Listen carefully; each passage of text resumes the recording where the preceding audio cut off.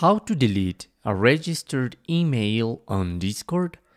Hello and welcome to our channel Web Whizz. In this tutorial I'm going to show you how to delete a registered email on Discord. So please watch till the end to properly understand the tutorial. So this is quite simple. As you can see here I am in the homepage of my Discord and in this part I have my name the mix symbol, the headphones, and now the settings, the user settings. If I click on it, I'm going into my account and I'm going to be able to look to my username, my email, and my phone number.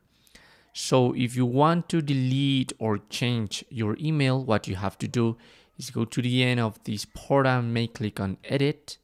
Automatically, you will need to verify your email address. So they are going to send you perhaps a code or a link to regain that access. So I'm going to click on send verification code and I have to write my verification code.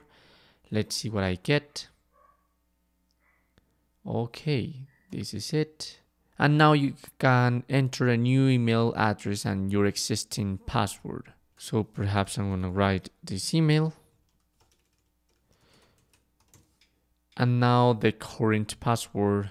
And that's it. If I may click on done I'm gonna be changed my email address.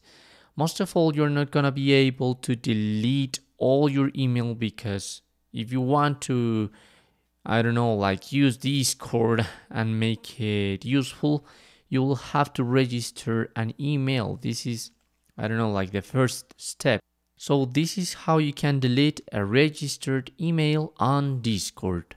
Thanks for watching.